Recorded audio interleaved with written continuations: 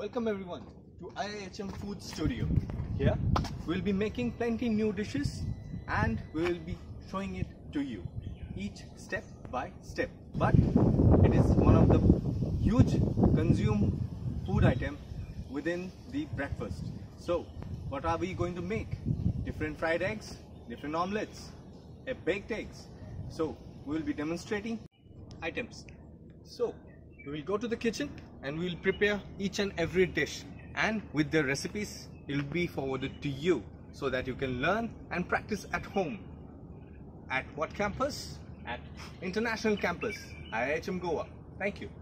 So for side side we'll be taking two eggs and we'll be breaking it in into the bowl. Very careful. The yolk should not break. So we'll start with very low flame or else sunny side up will get bubbles inside. We'll put a bit of butter. If somebody wants, you can make it with olive oil, obviously pomace oil and sunflower oil as well. It's according to the choice, but the best is butter.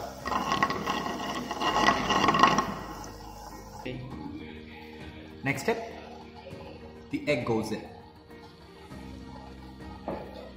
Very slowly it has to cook or else the bubbles will come up. If you see this layers, you can break this off but the yolk should not break. So be very careful. So as you see, no bubbles. The perfect sunny side up. Your sunny side up is done. The yolks are raw and runny but your egg white is done. So sunny side up is done. Let's plate.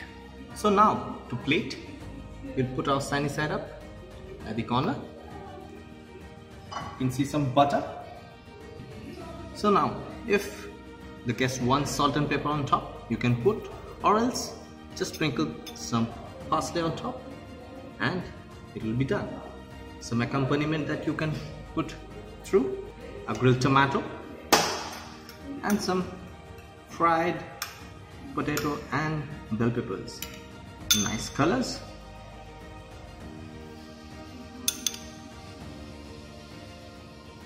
And some garnish. Thank you.